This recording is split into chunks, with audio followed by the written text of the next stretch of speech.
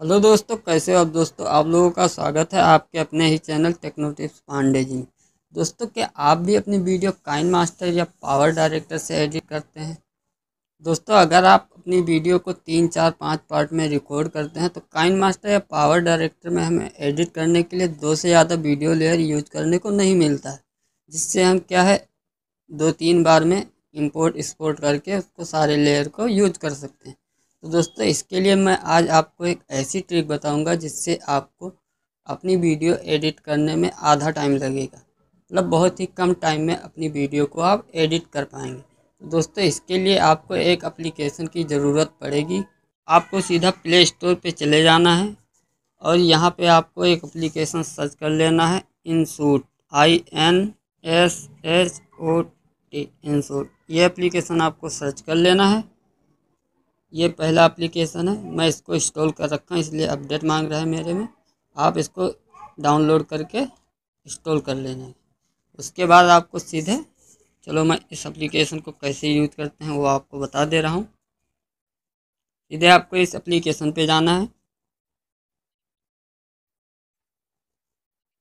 दोस्तों, यहाँ पे आपको तीन ऑप्शन मिलेगा वीडियो फ़ोटो कॉलेज आपको वीडियो लेयर ऐड करना है तो वीडियो पे जाना है आपको। यहाँ पे न्यू पे क्लिक कर देना है।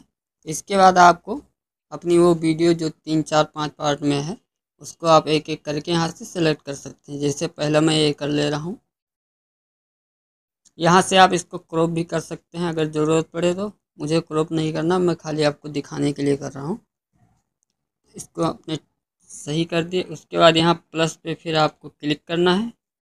और यहाँ पे दूसरा वीडियो लेयर। इसको भी ऐड कर लेते हैं। ओके उसके बाद फिर आपको यहाँ प्लस पे क्लिक करना है। और ये मैं कर ले रहा हूँ। तीसरा लेयर ऐसे आप तीन, चार, पाँच छः जितने पार्ट में आप अपनी वीडियो को शूट करते हैं, उतना यहाँ से मर्ज कर सकते हैं। उसके बाद मैं तीन ये कर लिया। उसके बाद आपको यहाँ पे कई ऑप्शन इसको यूज़ करना चाहें तो आप यूज़ कर सकते हैं, नहीं यूज़ करना चाहें तो कोई बात नहीं। उसके बाद आपको यहाँ सेव पे सिंपली क्लिक करना है और फिर सेव पे क्लिक कर देना है। उसके बाद ये आपको फॉर्मेट बताएगा कि आप कौन से फॉर्मेट में अपने वीडियो को कन्वर्ट करना चाहते हैं। अब वन ज़ीरो एट ज़ीरो में भी कर सकते हैं सेवन टू ज़ीरो में भी कर सकते हैं। मैं सेवन टू ज़ीरो में कर रहा हूँ। इसलिए आपको ओके कर देना है। कुछ देर में ही ये एड आ गए इसको हम सिंपली हटा देते हैं यहाँ से।